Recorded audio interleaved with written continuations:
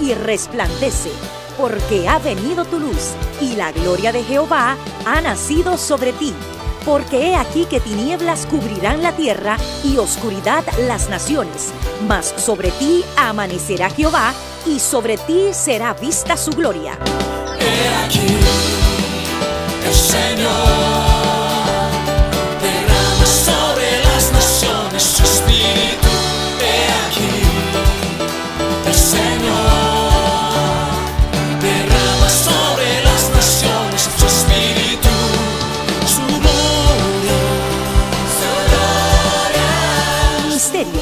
Amanecer de la esperanza, presenta su programa Voz de Restauración con el pastor Juan Radamés Fernández. Escucha atentamente la palabra que proviene del mismo corazón del Padre para consolar tu vida.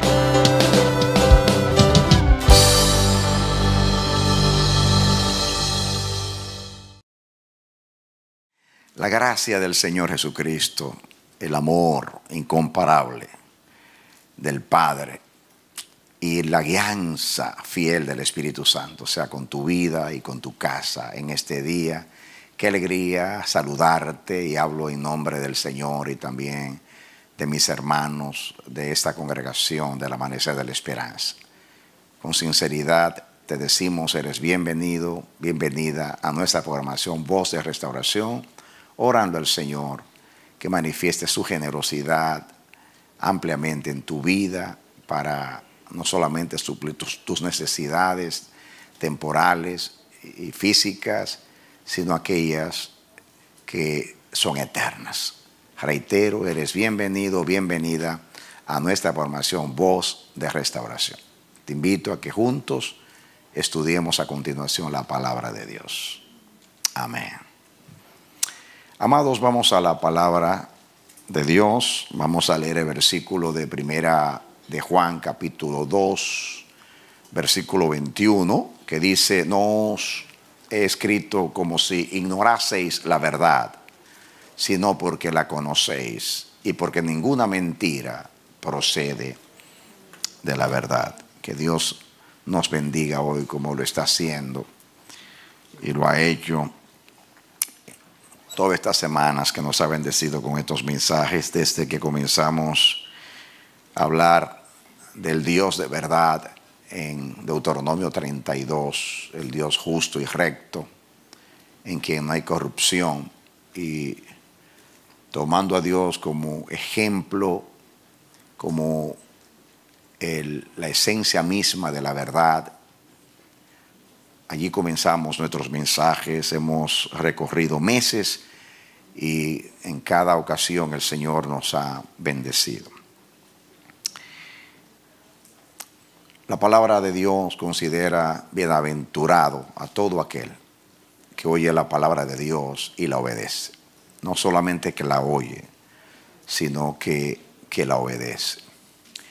Jesús a sus contemporáneos los consideró también bienaventurados, especialmente a sus seguidores, a sus discípulos. Él dijo,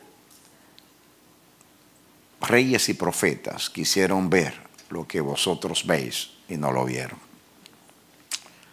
Nosotros también hemos visto bastante, amados. Dios ha sido muy bueno y muy generoso con nosotros.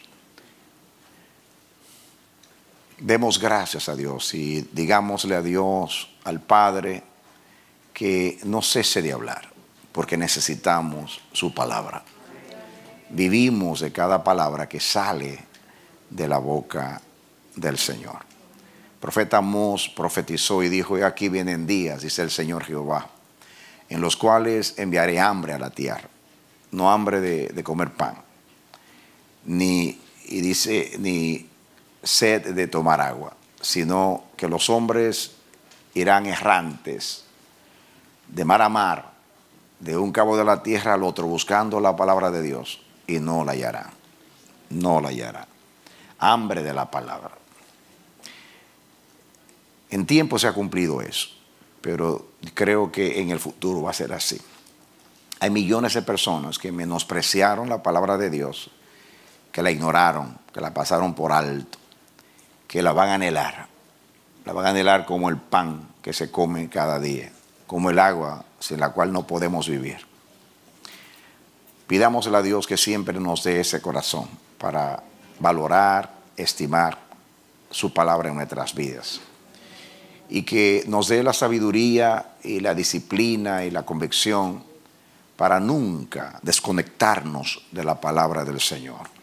En nuestra devoción personal, leer la Biblia cada día, no como una rutina, no para cumplir con un tiempo devocional, sino en realidad buscando a Dios, diciéndole, háblame Dios por medio de la palabra. Antes, cuando yo era joven, yo me propuse, cuando me convertí a los 16 años, leer 50 capítulos de la Biblia diariamente.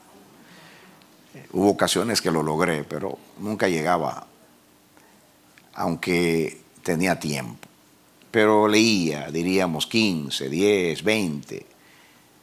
Ahora no estoy tan, tan preocupado en leer muchos, muchos capítulos. Puede ser que uno, dos o tres o cuatro, cinco, pero me detengo cada vez que leo para decirle al Señor, Señor, háblame por esta palabra.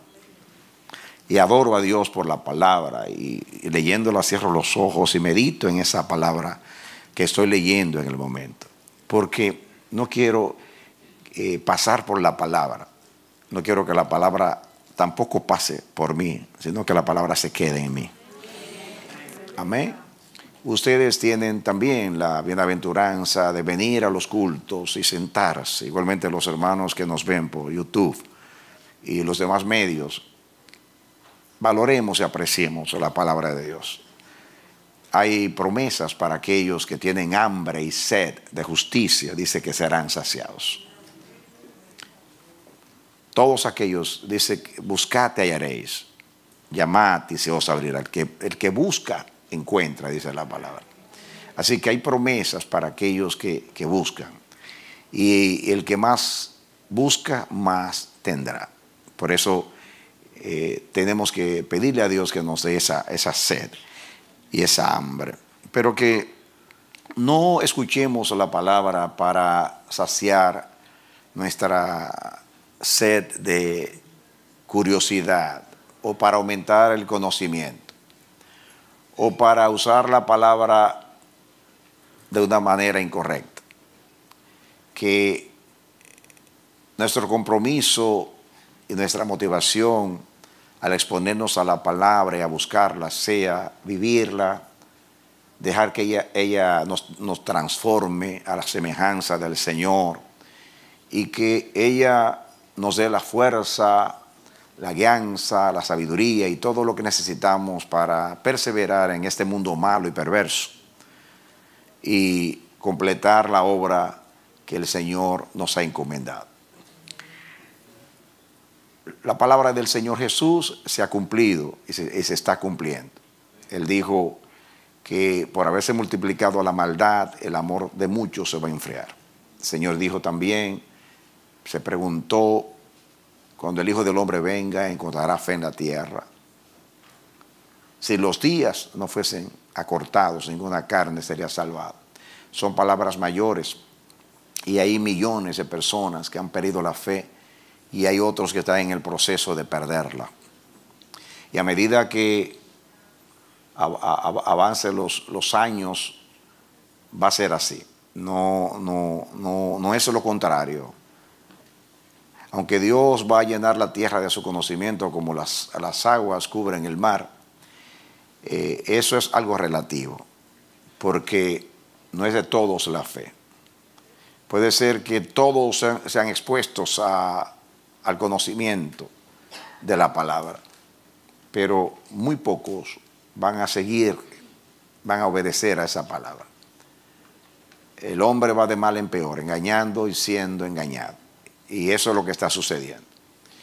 Y el Señor quiere, mis amados, crear una conciencia en nosotros, sacudirnos, estremecernos, que no seamos conformistas, que no nos conformemos eh, con lo poco, ni tampoco nos conformemos con este siglo, sino que nos renovemos constantemente en el hombre interior por el Espíritu.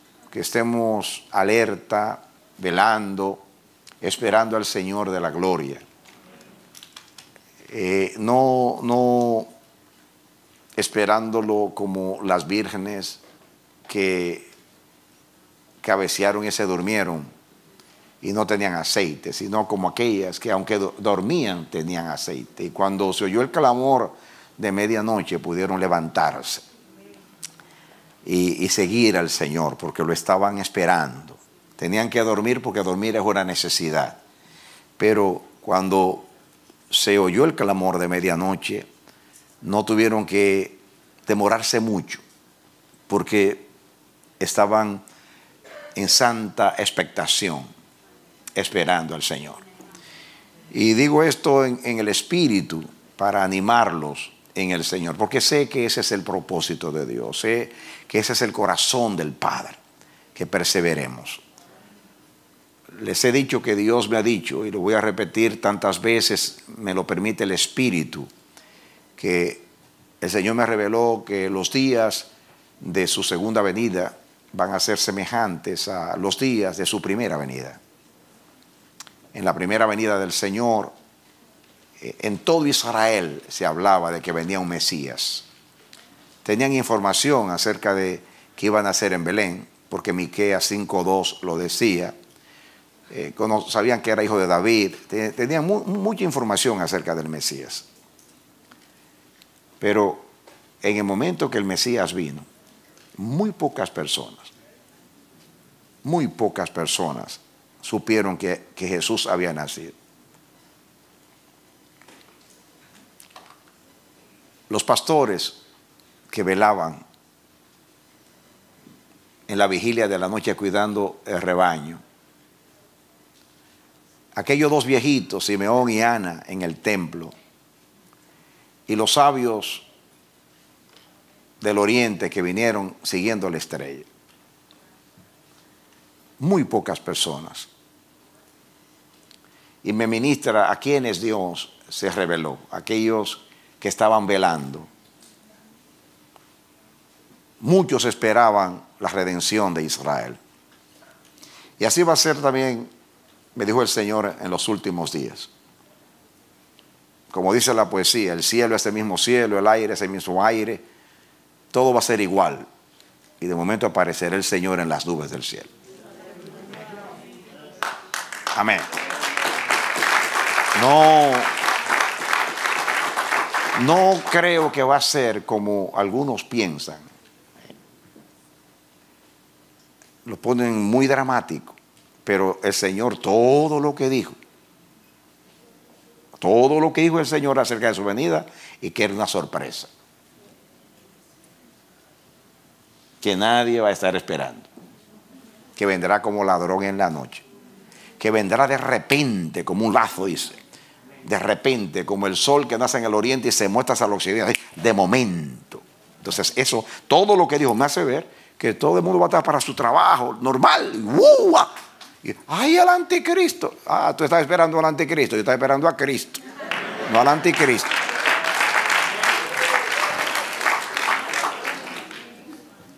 Y yo no estoy diciendo que no va a haber un anticristo. Lo que estoy diciendo es que la manera que se manifestó el anticristo va a estar ahí y no lo vamos a ver.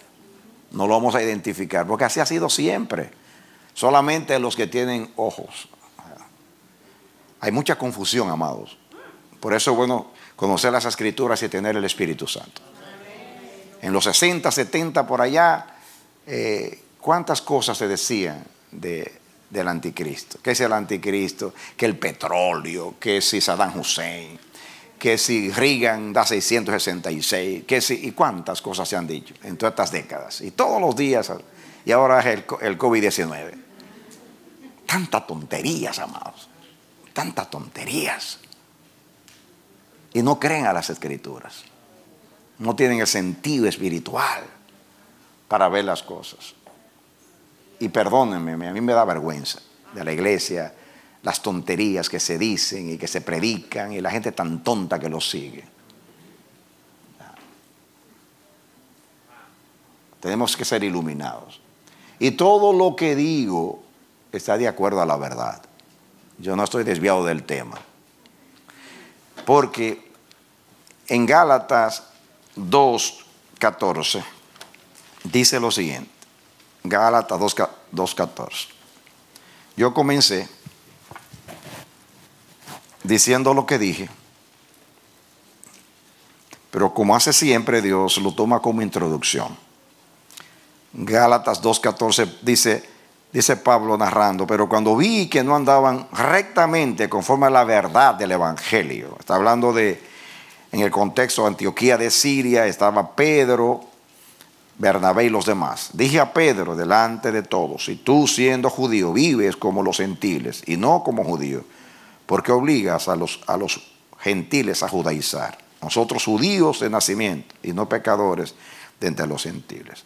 Pero dice el 13, y en su simulación participaban también los otros judíos, de tal manera que un Bernabé fue también arrastrado por la hipocresía de ellos. No puedo seguir porque aquí hay una verdad tan poderosa, amados. No andar conforme a la verdad, en este caso en el contexto del Evangelio. Y ya vimos ahí simulación, engaño, mentira, que lo hemos estudiado. Pero el Espíritu me sigue insistiendo que esto es tan amplio, tan extenso, como lo, como lo mismo que yo estaba diciendo al principio acerca de la venida del Señor.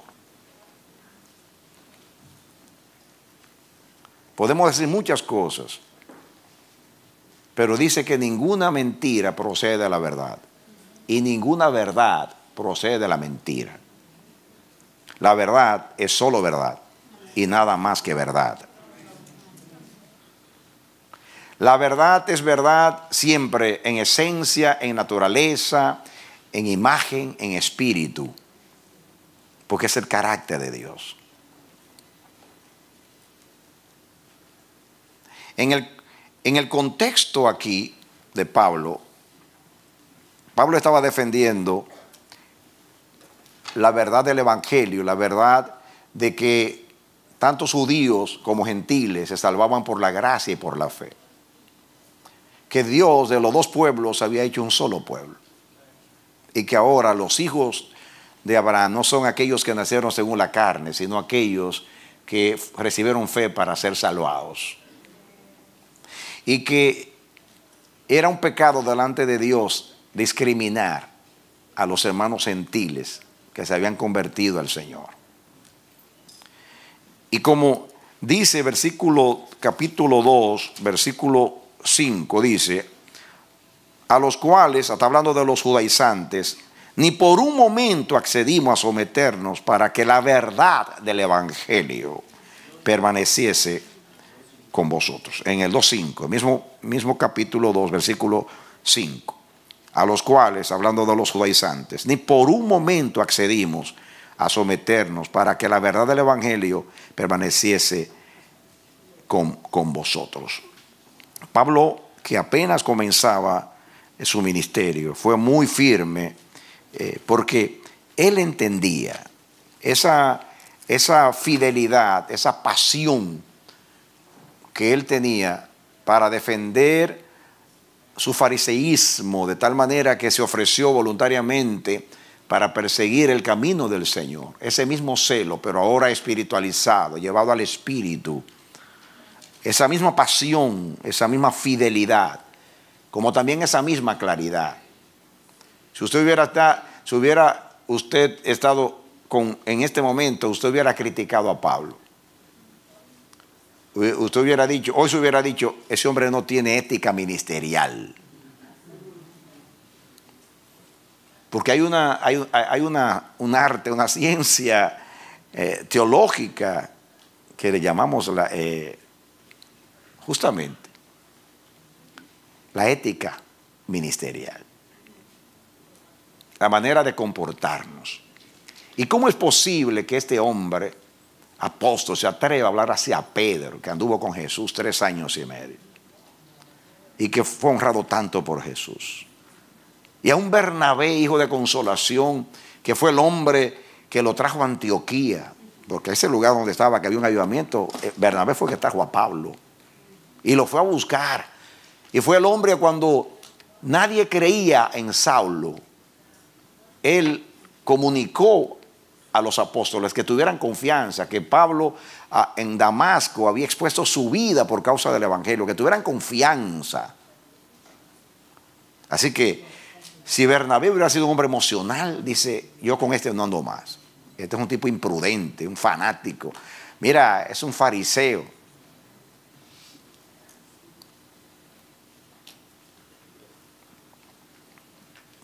No siempre se actúa de esa manera. Pero hay momentos, amados, donde silenciar la verdad es una traición y un riesgo muy grande. Muy grande. Si Pablo también, en este caso, ya que el engaño era generalizado, él dice, de tal manera que Bernabé, en otras palabras, un hombre tan consecuente como Bernabé,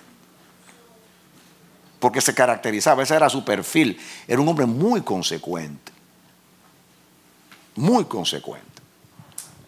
Pedro, aunque era un hombre hermoso, precioso, sincero, pero lo vemos en el Evangelio, un hombre eh, impulsivo, inconstante, hablaba y después pensaba. Eh, y yo sé que fue transformado por el Espíritu, pero su personalidad estaba ahí. Ese Pedro, esto posiblemente aconteció después de Hechos capítulo 10, donde tuvo la experiencia con la visión del manto lleno de animales inmundos, Pedro mata y la experiencia con Cornelio. Él era el instrumento para abrir la puerta a los gentiles. Pero el que dirán lo traicionó. El que dirán. Y justamente eso Dios lo ha enfatizado muchas veces en estos temas. Nadie puede ser de la verdad si, su compromiso con la verdad no es absoluto, determinante y perfecto. Nadie. Nadie. Usted puede durar 80 años, puede ser un, un, tiempo, siendo perfectamente fiel a la verdad. Y un día usted se puede confundir y hacerle tanto daño a la verdad que puede usted perder la honra de haber vivido 80 años cuidándola y defendiéndola y viviéndola. Porque con compromiso con la verdad es siempre, siempre y absolutamente. Comprometerse con la verdad es comprometerse con Dios, porque Dios es el Dios de verdad. La, verdad es, un, es una virtud, un atributo de Dios. La verdad representa todo lo que Dios es, como hemos enseñado. Su palabra es verdad, su espíritu es espíritu de verdad, su propósito es verdadero, sus juicios, sus caminos, todo lo, todo lo que es Dios, su reino, representa, eh, representa la verdad. En, en Bernabé, en este caso, como el mismo Pedro, yo no quiero desvirtuar a Pedro. Pedro era un hombre de Dios y después de Pentecostés hubo un cambio en su vida. Pero aunque uno sea lo que sea, siempre están ahí presentes nuestras debilidades, amados. Nuestras debilidades. Ah. No todo el mundo tiene ese compromiso con la palabra de Dios, con la verdad. El Pablo que era un neófito, amado, ahí en Gálatas, apenas estaba comenzando su ministerio. De hecho, aquí menciona Antioquía de Siria, y donde había un tremendo avivamiento de la iglesia gentil. Y allí estaba Bernabé, y fue Bernabé que lo fue a buscar, y posiblemente en ese contexto, apenas llegando allí, o unos años, ahí estando en Antioquía, sucedió este incidente.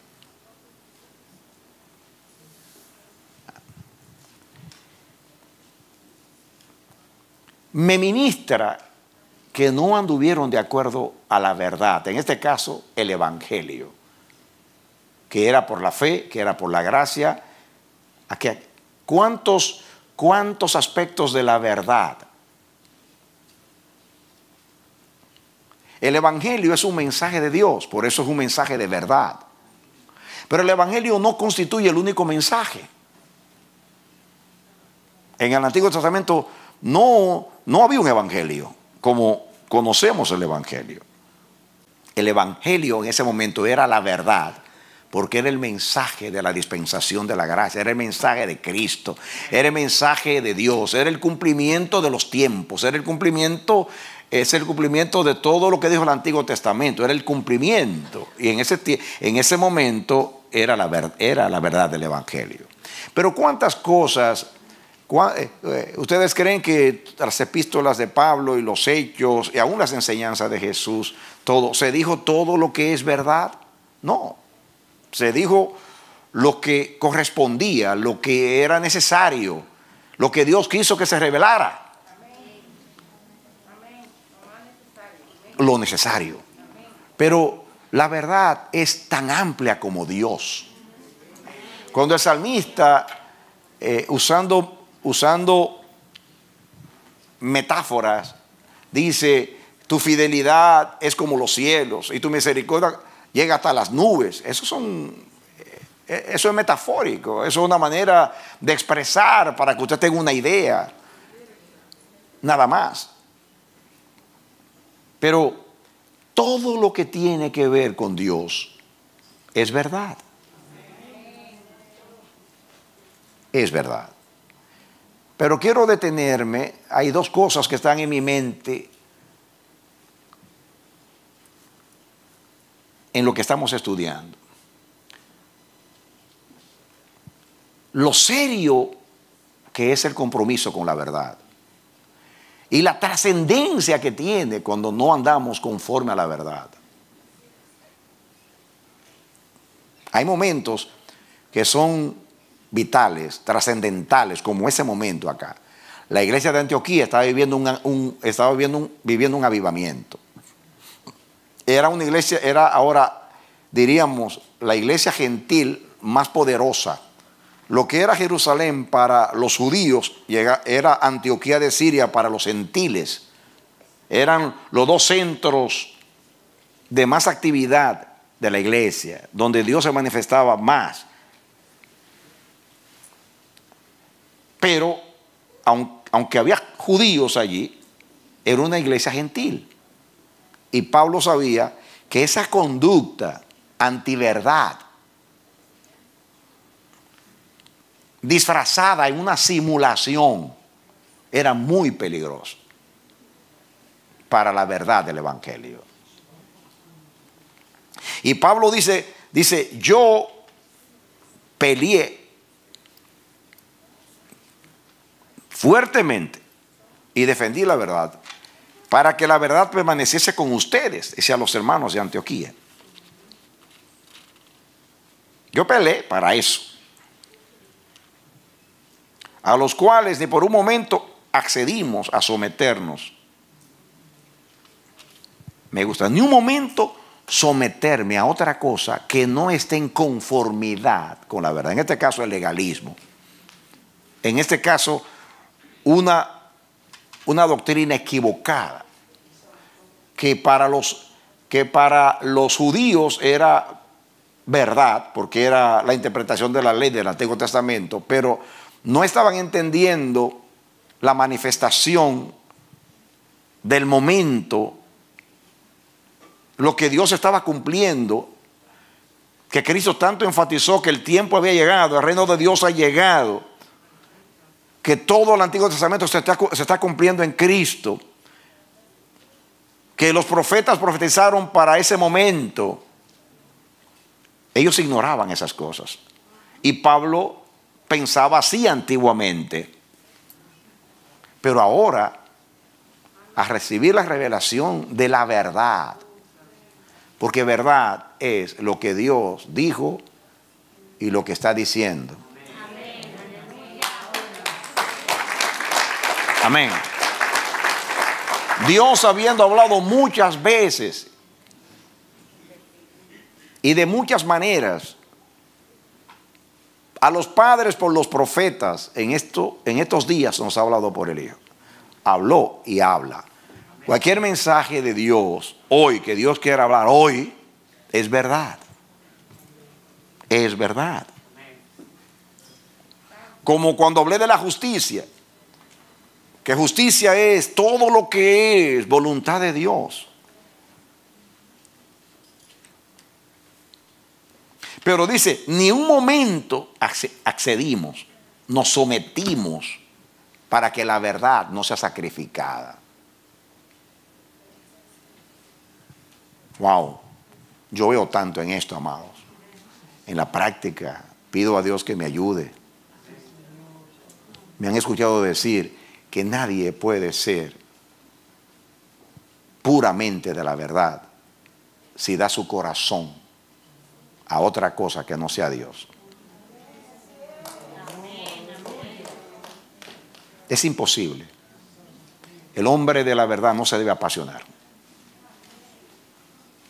Jesús dijo, mi madre y mis hermanos son aquellos que hacen la voluntad de Dios. Parecía un menosprecio a María y a sus hermanos. No era un menosprecio.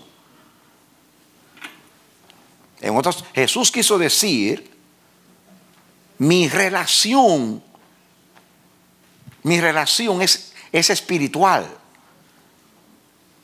Yo puedo ser fiel y obediente a la, al afecto natural, diríamos, al vínculo de sangre, porque entonces no sería yo un ser humano natural. Dios nos dio afecto natural para amar a la mamá, al papá, al amigo. Cuando amamos somos leales, ¿no es cierto? Y uno por gratitud y respeto, uno honra a sus padres. Uno honra a un amigo que ha sido consecuente, que nos quedamos juntos, que estudió conmigo, que en los momentos difíciles ese amigo estuvo ahí. Cuando yo lo necesité, hizo cosas extraordinarias por mí que no puedo olvidar. Hasta le debo la vida.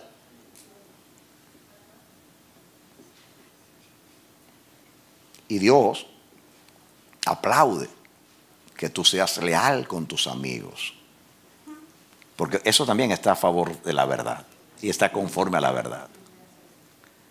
Hasta que no compromete la misma verdad ningún lazo, ningún vínculo, ningún compromiso de, sangre debe estar por encima de nuestro compromiso con la verdad. ¿Me comunico? Muchas veces, y eso es muy, muy normal, en la historia de la iglesia y hoy, eso es muy común muy común. Estos tipos de líderes que el mundo ha dado tantos, líderes, voy a hablar ahora de la, iglesia, populistas, carismáticos, que se adueñan de, de, las congregaciones. Generalmente usan la palabra padre, paternidad, porque se presta para uno subyugar a la gente, para obligarla a someterse. Es muy común.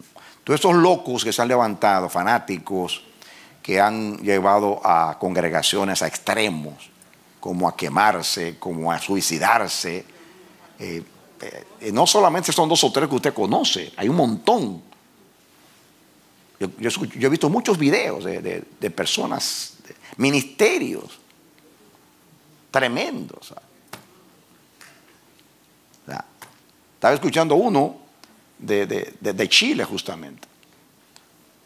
Un alemán que fue a Chile y fundó un ministerio a favor de los niños.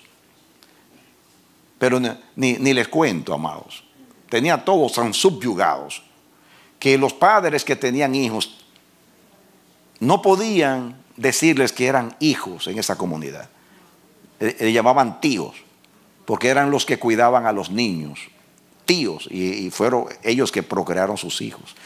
Y decían a los padres, cuando traían un huérfano, decían a los padres, este pertenece aquí a la comunidad. Y los ponían a trabajar a todos, naturalmente vivían en comodidad.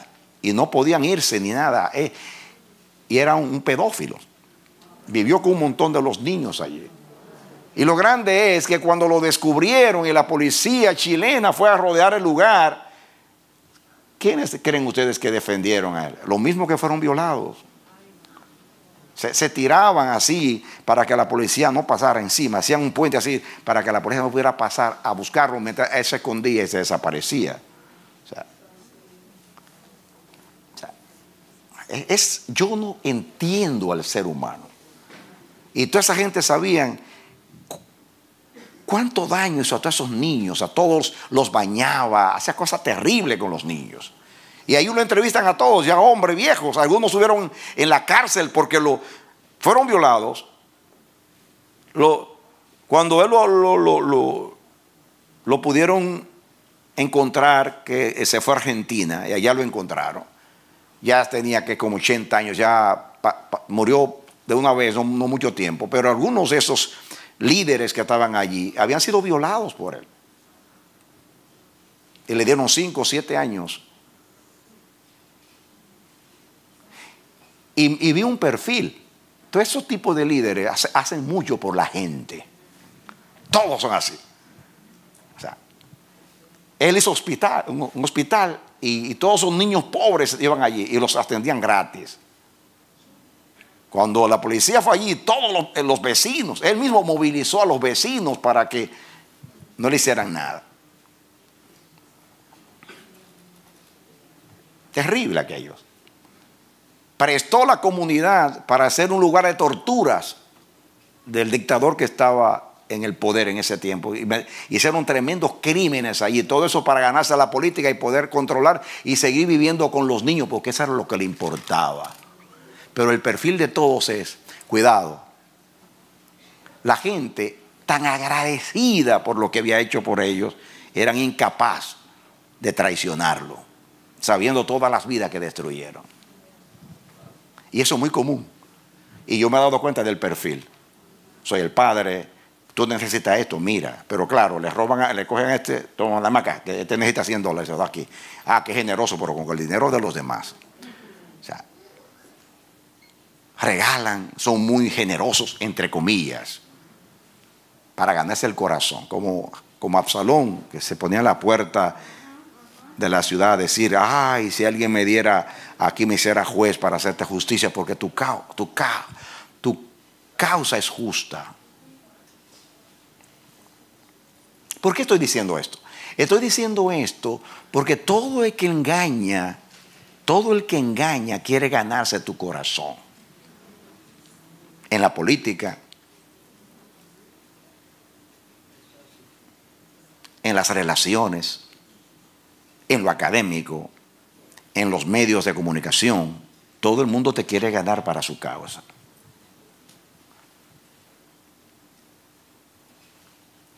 Es muy común alguien que hace un favor y dice, "M- me debes una. Eh, óyeme, eh, eh, yo te puedo ayudar, porque justamente que, que diría esa oficina me debe unos cuantos favores a mí. Y no me va a decir que no.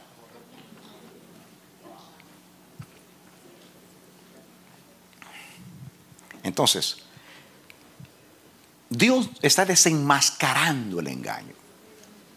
Entonces, ¿qué pasa? Ya sea por el lazo de sangre, mi hermano, mi mamá, mi amigo, o por el lazo de la, gratitud, le debo a esta persona un favor que me hizo, me ayudó en tal tiempo. Entonces, cuando llegue el momento que usted tiene que defender un principio, cualquier principio de la verdad, ahí es que se sabe si usted es un hombre de la verdad o una mujer de la verdad.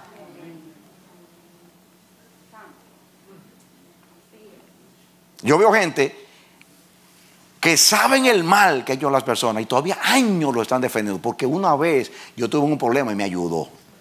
Entonces, justamente eso es lo que Pablo tiene un compromiso con Bernabé. Bernabé fue el hombre que introdujo a Pablo delante de los apóstoles. Bernabé fue el hombre que cuando vio el avivamiento, él estaba allí en el frente de un tremendo avivamiento en Antioquía de Siria. Hizo memoria de Pablo que estaba en Tarso. Voy a buscar a Saulo. Y salió a buscar a, Saulo. Y, y fue el instrumento para, para lo que pasó después con Saulo de Tarso. Ah, Había una, había una gratitud, había respeto. Mira que dice, aún Bernabé cayó en la simulación. Porque tenía gran respeto por él. Es que ningún respeto, ninguna honra, ninguna gratitud, ningún lazo familiar, de ideología, de la índole que sea, está por encima de nuestro compromiso con la verdad.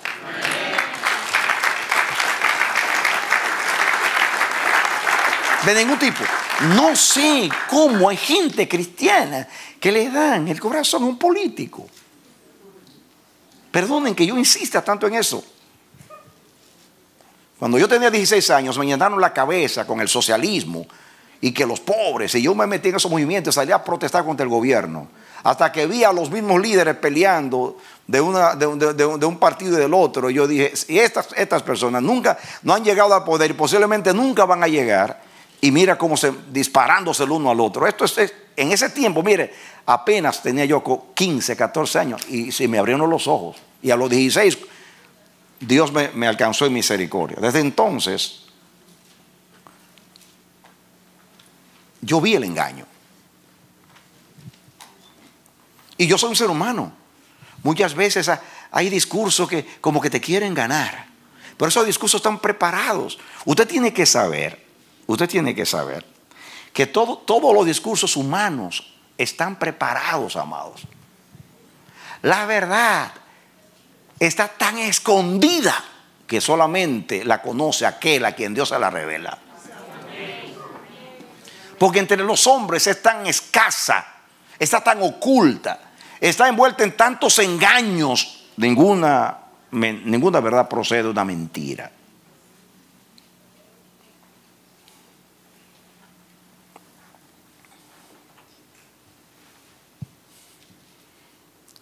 Es muy difícil creer en el hombre, aún en nosotros mismos.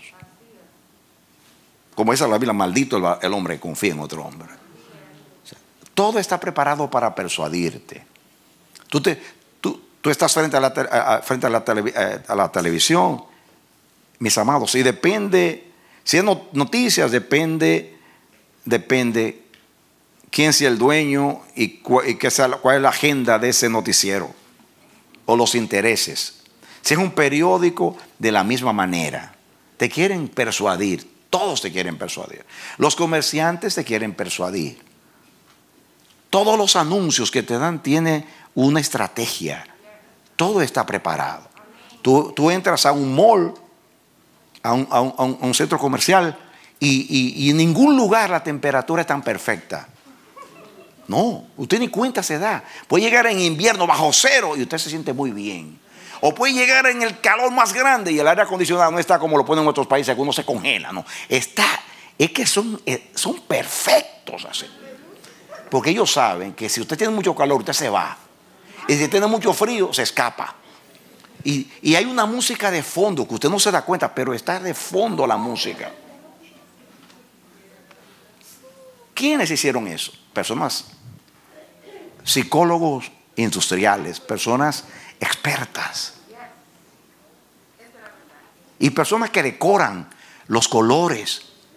Todos los colores están preparados en armonía, todo para que ah, tú tengas un ambiente agradable, de tal manera que tú compres, aunque no tienes dinero y aunque no saliste a comprar.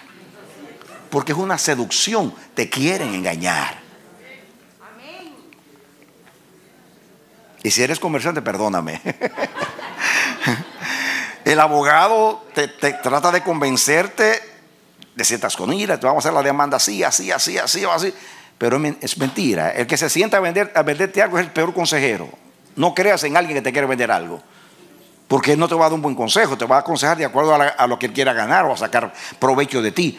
Todo en la vida está programado para engañar y para sacar provecho. Así son todas las ideologías. Y el hombre masa, como se le llama, el populacho, es arrastrado. ¿Por qué, los países ricos, más ricos del mundo, son los más pobres? Como los, los, los países que tienen la materia prima, como los, todos los países nuestros. Por lo mismo, amado. Lo mismo. El engaño, la mentira, el discurso. Queremos tantas mentiras.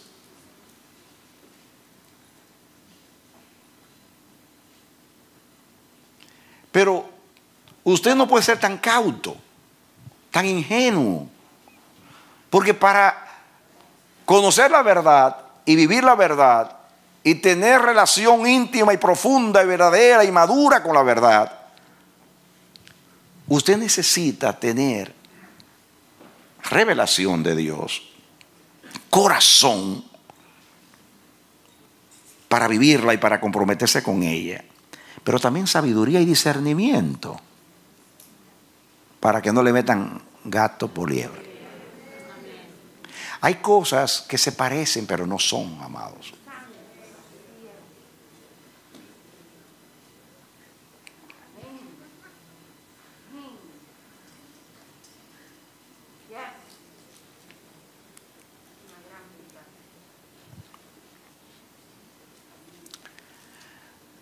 No estoy aquí para abrirte los ojos.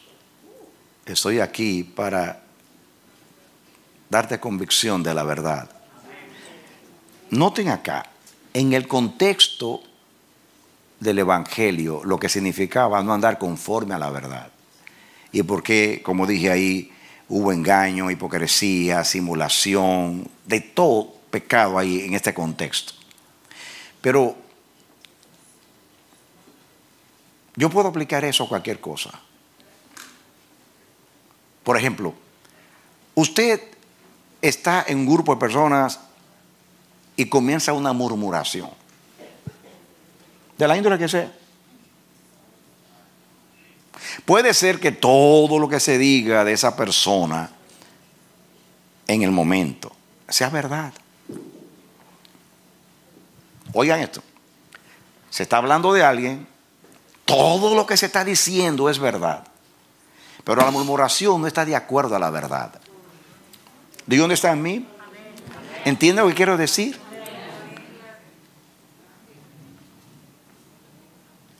Todo lo que... No, pero es verdad, es verdad. Es que yo lo vi, yo estaba allí, yo lo escuché. Pero el diccionario dice que murmuración es hablar de alguien en su ausencia. Y la Biblia habla en contra de eso. ¿Saben las cosas que están, que no están de acuerdo a la verdad? La exageración. Habían como 10 mil personas. Y, eran, y lo que había eran, eran 500. Esa es mentira. La exageración. Llegó a, a las 3 de la mañana. Y fue a las dos y media. O sea, eso no está de acuerdo a la verdad. ¿Cuántas personas hemos perjudicado nosotros con nuestra conducta? ¿Cuánto daño hemos hecho? La Biblia dice que las palabras son espíritus. Son espíritus. Usted puede tener un concepto hermoso de una persona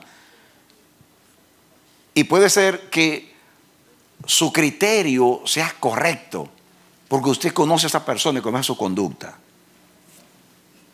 Pero viene alguien un día y le crea una duda sobre esa persona.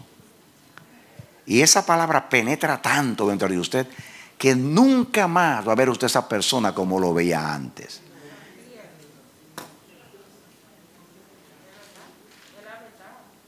Entonces, eso no está de acuerdo a la verdad.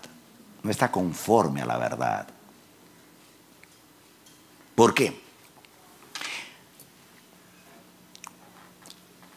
si es el plan de Dios relacionarte con esa persona que estoy poniendo como ejemplo, y Dios te, ha revelado su integridad, su fidelidad a Dios, lo que sea, y Dios, por alguna razón, te ha dado testimonio esa persona, porque esa persona tiene algo que ver con tu vida, en el propósito de Dios, sea cual sea inmediatamente te dicen algo negativo y tú te vas a echar a un lado, a simular, echarte a un lado. Porque esa palabra penetró en ti. Que fue lo que pasó con Satanás, con Eva, una sola palabra. Con que Dios os ha dicho, bien sabe Dios. Miren dónde estamos por una insinuación.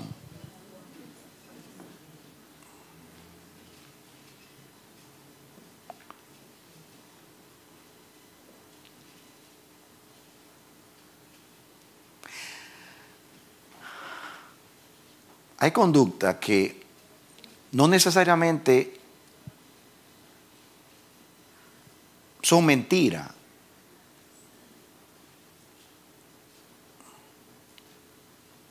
pero no están de acuerdo con la verdad.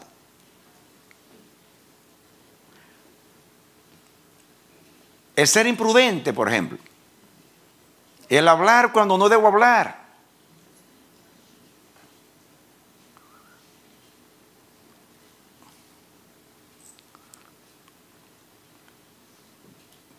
Puedo hacer daño.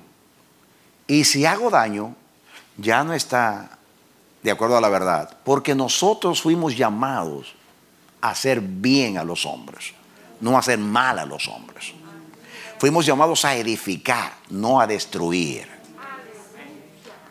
Y todo lo que somos y tenemos, los recursos que sean, en lo material, en lo intelectual, en el conocimiento de Dios, en los dones espirituales, todo lo que hemos recibido de Dios, tenemos que usarlo en conformidad al corazón de Dios. Si no, no está en conformidad con la verdad.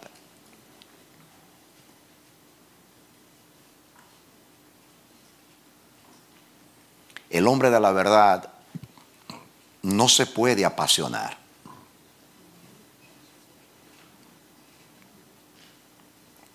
Porque la pasión la mayoría de las veces ciega.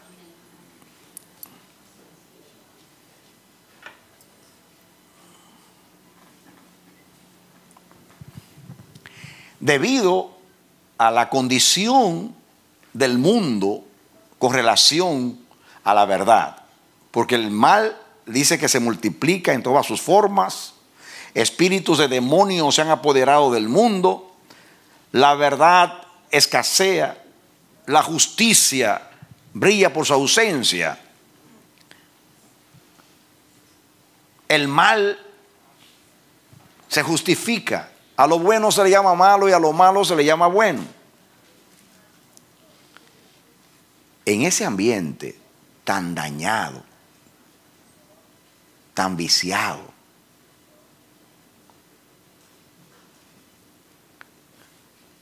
donde nosotros vivimos, donde somos expuestos a todas esas cosas, necesitamos desarrollar en Dios. Un discernimiento, una sabiduría, una prudencia, un compromiso, una autoridad. De tal manera que no seamos vencidos de lo malo, sino que podamos vencer con el bien el mal.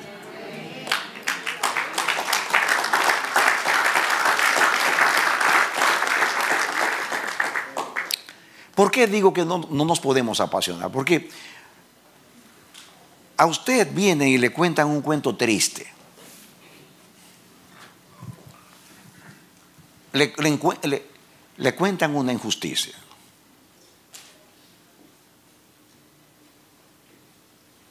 Y usted dice, como, David, que le contaron la historia triste de aquel hombre que tenía una sola ovejita. Y había uno que tenía tantas ovejas que no las podía contar. Pero le llegó a medianoche a este hombre, a alguien, y en vez de tomar una de las tantas miles y miles de ovejas, tomó la única que tenía ese pobre hombre. ¿Por qué creen ustedes que Natán hizo eso? Apeló al, espíritu de justicia de David. Y David se enojó y dijo, ese hombre digno de muerte. Se apasionó porque le contaron una historia triste. Él era rey y estaba para hacer justicia. Y él no sabía que ese hombre era él. Hasta que le dijeron, you are that man. Tú eres aquel hombre. Se autocondenó sin saberlo. Pero me vino por el Espíritu ese ejemplo, porque a veces nos cuentan historias que nos apasionan y, entonces ya ahí se perdió la verdad, porque estamos apasionados.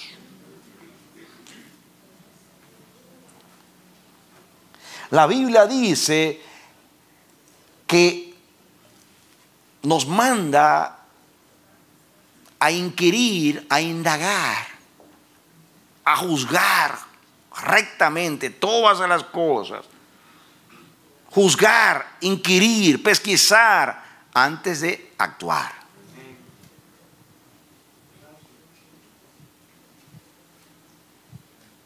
No se trata de que si me equivoco pido perdón. Se trata de que tú eres un embajador del reino y de la verdad.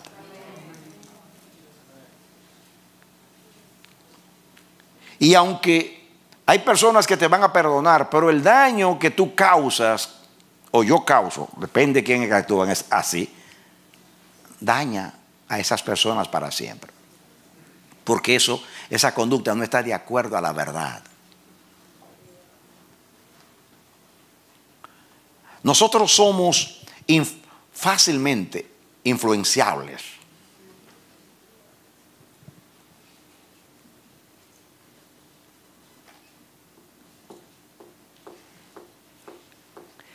Escuche, vea, medite, váyase con Dios. Y cuando tenga una dirección de Dios, entonces actúe. No se deje arrastrar por las pasiones.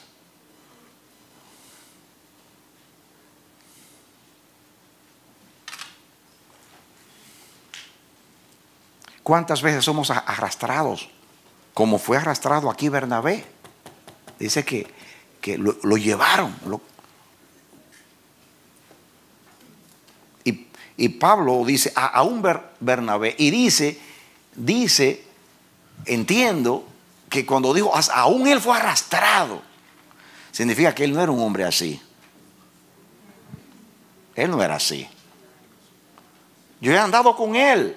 Yo, yo ministro acá con él en Antioquía de Siria. Pedro vino de allá y los demás vinieron de allá. Pero yo estoy aquí con él. Yo conozco a ese hombre. Ese hombre no es un hombre que se prejuicia. Ese hombre cuando todos estaban prejuiciados contra mí, él me defendió. Él me creyó. Él creyó en mi conversión. Él me fue a buscar. Él me trajo acá.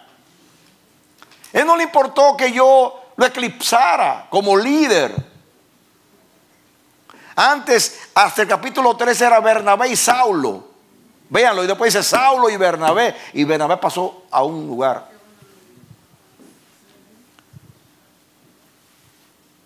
Detrás. Pero era un hombre maduro. Un hombre que tenía corazón. No era dado al prejuicio. Porque ¿quién no se prejuiciara con Pablo? Cualquiera. Entonces, no hay nadie que pueda decir, no, no, no, a mí nadie me va a influenciar. No, amados, todos somos influenciables.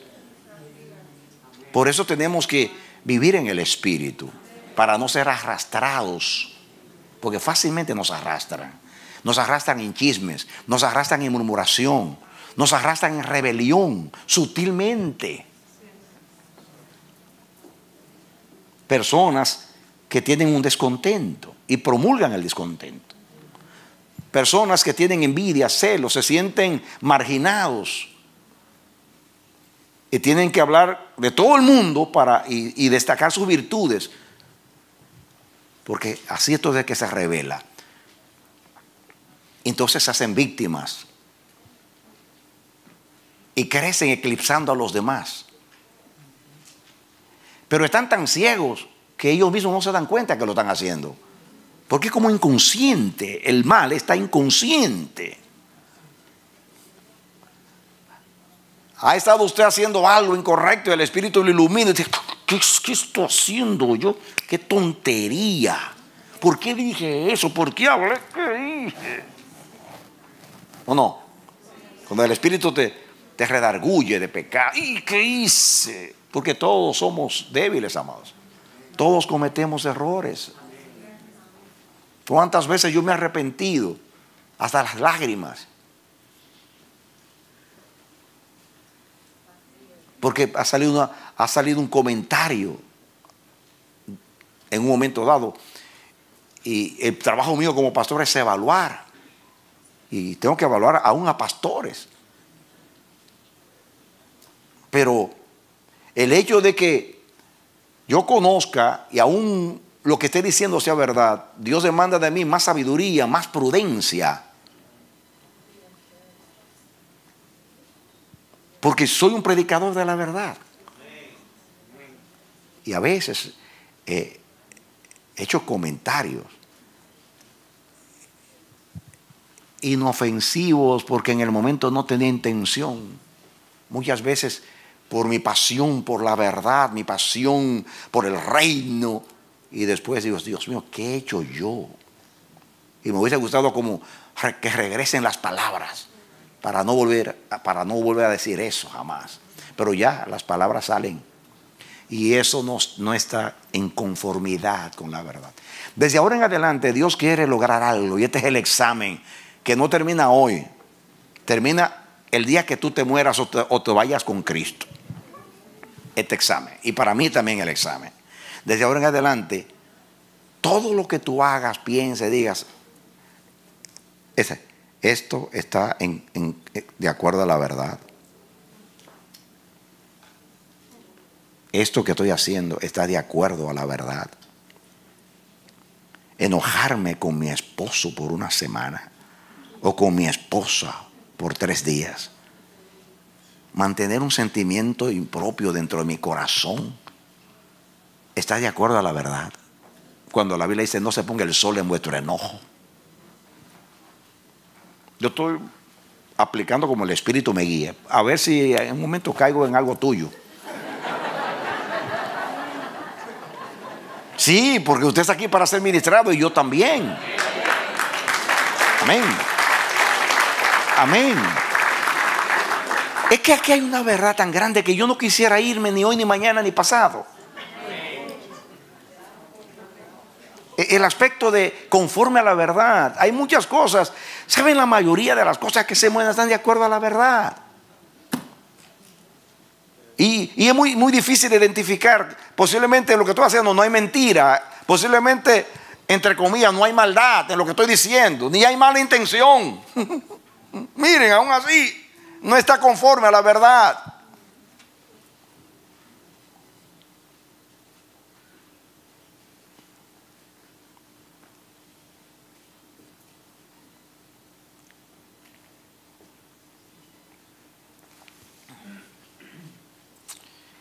Y esos dos pasajes, el de 1 de Juan 2.21, que ninguna mentira procede de la verdad.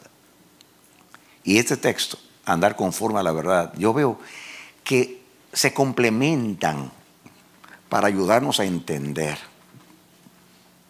la profundidad de esto, amados. Que Dios nos ayude. Esos versículos tienen un contexto. Por ejemplo, cuando Juan dice, no os he escrito como si ignoraseis la verdad, sino porque, porque la conocéis, porque nin- ninguna mentira procede de la verdad. Juan está combatiendo a, lo- a los, a, a- a a- a- a ciertas doctrinas de los gnósticos que negaban la divinidad de Jesús. Los docetistas, específicamente, cuando Juan dice, di- cuando Juan dice, eh, el que no confiesa que Jesucristo ha venido en carne no es de Dios, es un anticristo. ¿Por qué ustedes creen que en el Evangelio Juan, cuando narra, dice que él estaba presente con Jesús en la cruz y, dice Juan que, vio cuando traspasaron su costado y salió sangre y agua? Y el que da testimonio de estas cosas estaba allí. ¿Por qué tanto énfasis que salió sangre y agua? Porque los docetistas creían que, eh, creían que si Jesús era divino, no podía ser humano. Porque es una filosofía griega que dice que el cuerpo, el, el- el- el- el- el cuerpo está encarcelado en el alma. Y el alma cuando muere se libera del cuerpo, porque el cuerpo es, es malo. Entonces, si Jesús era, era, era Dios y era perfecto, no podía tener un cuerpo. Entonces, esa gente habían arrastrado a muchos hermanos. Ese es el contexto. Pero estos hermanos creían en todas las demás doctrinas y tenían muchas doctrinas verdaderas. Por eso Juan dice, es que, es que ninguna mentira procede de la verdad. Usted no puede demostrar una verdad con una mentira, ni, ni basarse en una mentira para demostrar una verdad, ni con una verdad sacar una mentira. La verdad es como Dios, justo, santo, bueno, puro. En Él no hay nada incorrecto, ni nada impuro.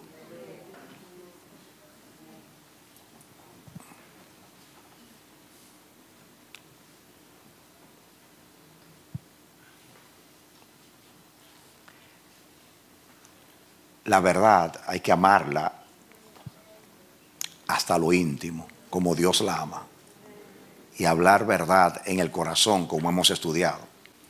Cualquier pensamiento que pueda venir a nosotros puede ser que no esté en, no esté en conformidad o de acuerdo a la verdad. Una duda acerca de un hermano. Una sospecha acerca de una hermana. Usted es un ser humano. Usted piensa, usted tiene pensamientos, impresiones, criterios.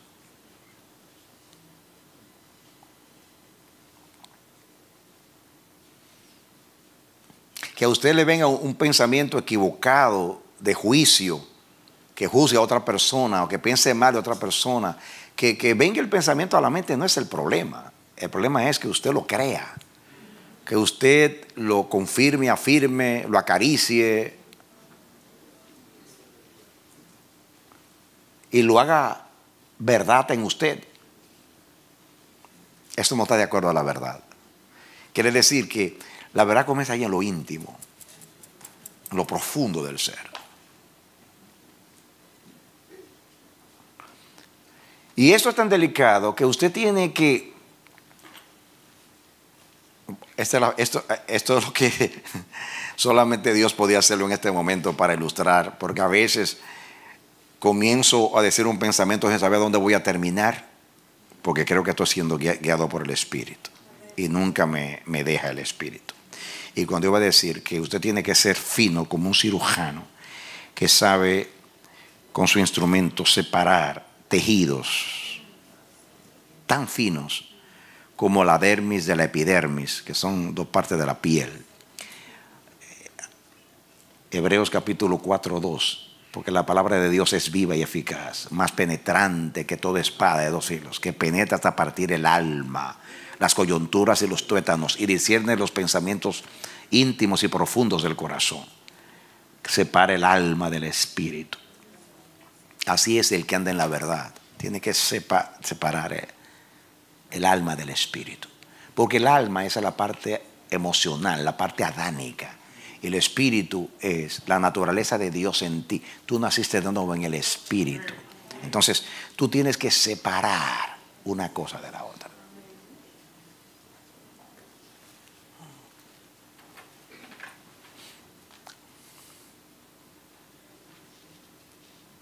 ¿Han visto un niño tratando de ayudar que lo que hace es que desayuda? Papi, déjate ayudar y se destruye todo lo que tú hiciste.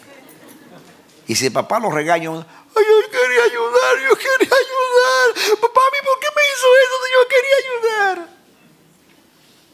El niño ignorante no sabe que no estaba ayudando, sino está ayudando. ¿Cuántos niños emocionales quieren ayudar y hacen tanto daño?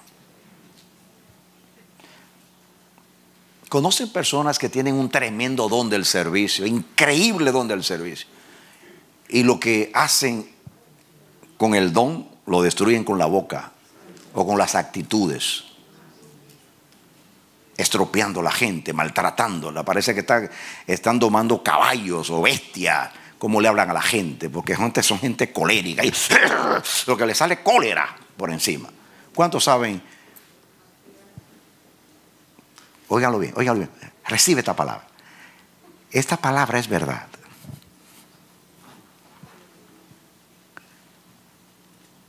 La ira del hombre. La ira del hombre dice la palabra, no está en armonía con la justicia de Dios.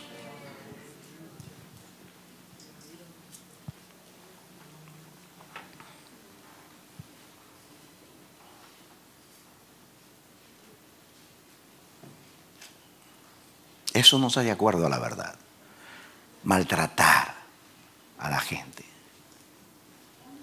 Puedo tener la verdad de mi parte y si no la uso bien, no ando conforme a la verdad.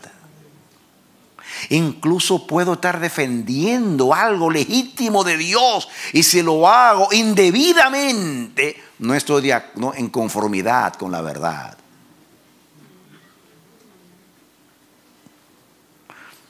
¿Cuánto se requiere y se demanda de alguien para vivir, ser fiel a la verdad? Es mucho el compromiso.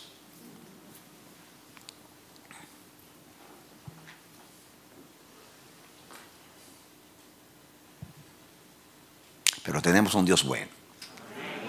Un Dios perdonador. Un Dios que no se olvida que somos polvo. En ese proceso de crecer en la verdad y ser perfeccionados en la verdad, en la ira del hombre no obra la justicia de Dios. Eso es el, versículo, así es. En la ira del hombre no obra, en la ira del hombre no obra la justicia de Dios. Así que usted se puede irar todo lo que le da gana. Pero la justicia de Dios no está con esa ira. Si esa ira no edifica.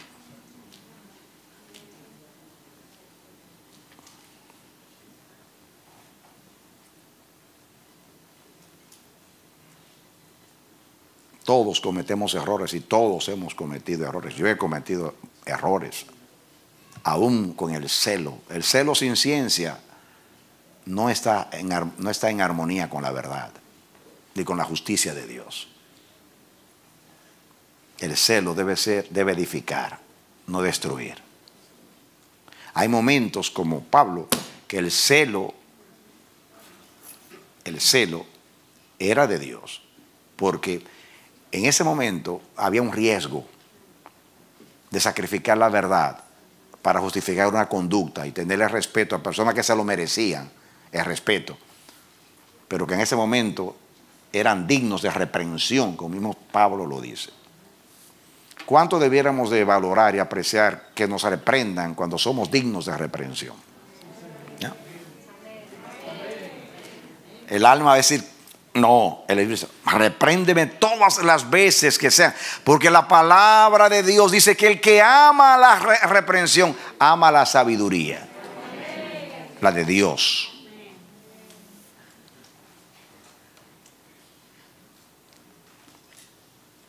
Llévate esta noche para siempre el pensamiento. El examen es este, siempre, cada pensamiento, cada conducta, cada intención. ¿Está esto en conformidad con la verdad?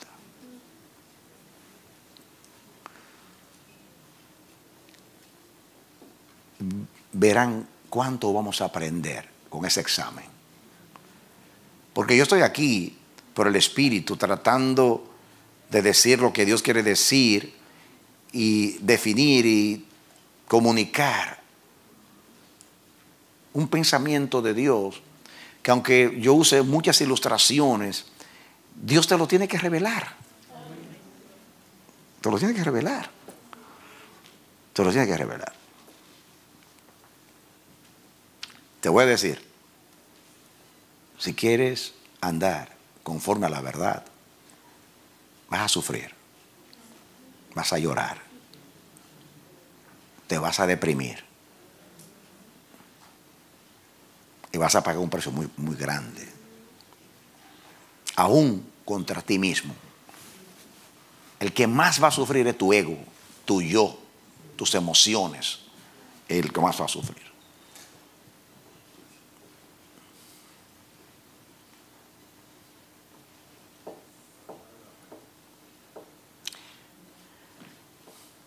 Si yo soy avergonzado para que Dios sea honrado, bienvenida a mi vergüenza.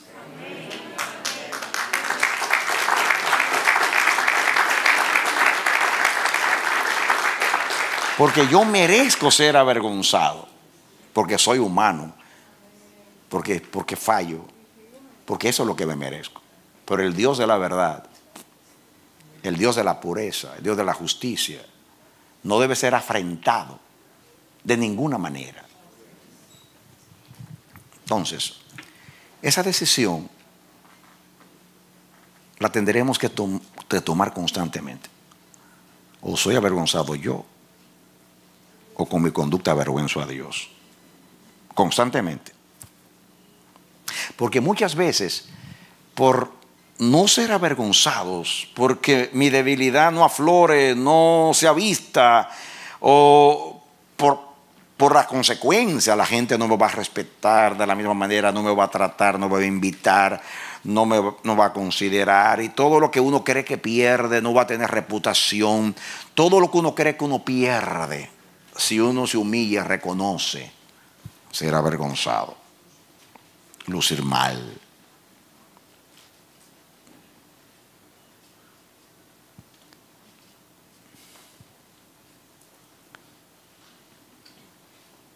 Pero si yo soy avergonzado, pa- para que la verdad florezca, para que la verdad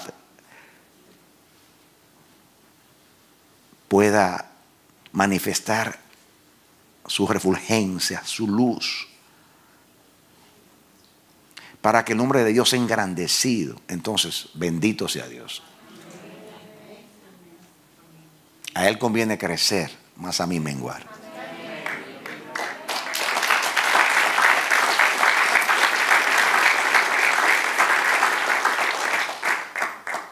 Pero déjame decir una cosa. Nadie, nadie tendrá dignidad si no la pierde.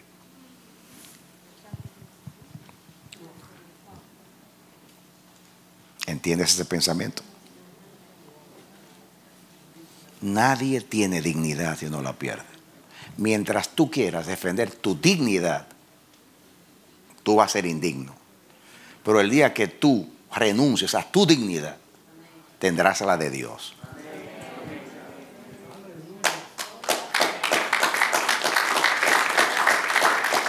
Y yo estoy hablando de la dignidad, de la dignidad de tu hombre viejo, de tu carne, de tu ego, lo que tú defiendes, tu reputación, todo lo que tú defiendes de ti. Eso que te ciega, que no te, no, no te ayuda a diagnosticar lo que te está dañando, lo que te está entorpeciendo, que no te deja crecer, que no te deja desarrollarte, que no te deja cumplir el propósito de Dios, que te priva de representar dignamente a Dios como un testigo de Dios, como un embajador del reino, como la luz del mundo y la sal de la tierra. Todo, eso, toda esa honra de todo lo que Dios te ha dado para tú representarlo a Él, todo, eso se pierde por tú defender tu reputación, tu dignidad, tu persona. eso no está de acuerdo con la verdad. Y el que vive como tal nunca crecerá en la verdad. Vivirá siempre escondiéndose como Adán la mentira. Es tan profundo el pensamiento y conoceréis la verdad y la verdad os hará libres. El hombre de la verdad no anda oculto. El hombre de la verdad se expone a la luz. El hombre de la verdad no se avergüenza de ser avergonzado, valga la redundancia, con tal de que muera lo que yo soy para que sea Cristo en mí. Amén. La Biblia dice que todo hombre es mentiroso y dice que la mentira la aprendimos del padre de la mentira que es el diablo. Y en el proceso de Dios, después que nos salvó en Cristo Jesús por el Espíritu Santo, está deshaciendo las obras del diablo en nosotros, está deshaciendo la mentira, porque todo lo que no es de la verdad es mentira. Diga conmigo, todo lo que no es de la verdad es mentira. Todo lo que no es de la verdad es mentira. Como es justicia, todo lo que está en conformidad con la verdad.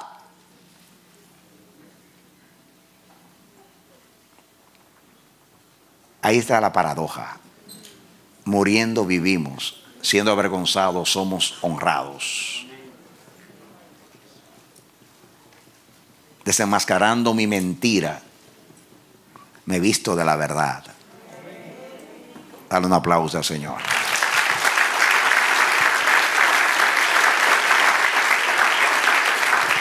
Oremos a Dios. Padre bendito en el nombre de Jesucristo.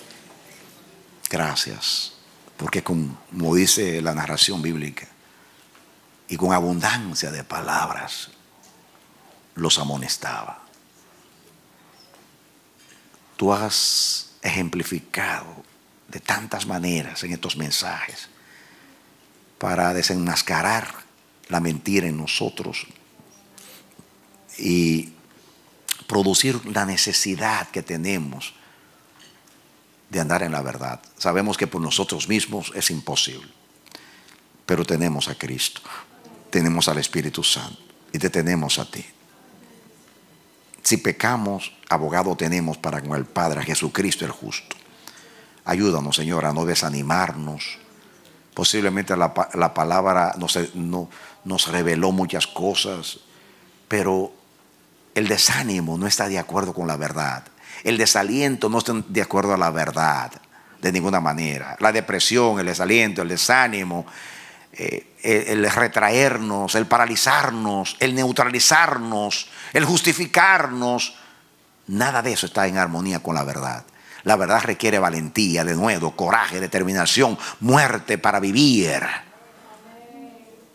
Ser avergonzados para, ser, para, honrarte a ti y luego nosotros, por medio de la verdad, alcanzar ese grado de honra que es el tuyo en nuestras vidas. Gracias, oh Dios. Yo te bendigo a ti y en ti bendigo esta congregación. Benditos son mis hermanos, tus hijos, Señor. Tú como padre anhelas una sola cosa, que tus hijos vivan en la verdad. Ayúdanos, oh Dios, a amar la verdad como tú la amas, hasta lo íntimo, y a crecer y a perfeccionarnos en ella hasta el día de Cristo. Gracias en el nombre de Jesús. En el nombre de Jesús te bendigo, mi hermano, a ti y a tu casa. Y ruego al Señor que esta palabra sea más que información bíblica,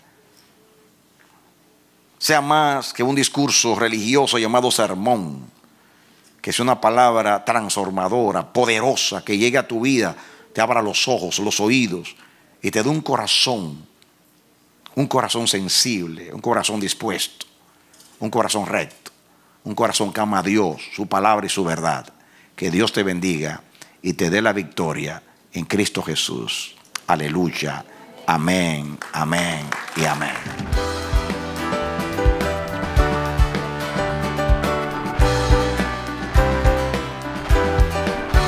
Este ha sido su programa Voz de Restauración. Si desea comunicarse con nosotros, escríbanos al PO Box 70, Bronx, New York 10473. O visita nuestra página web www.elamanecer.org. Nos despedimos hasta la próxima.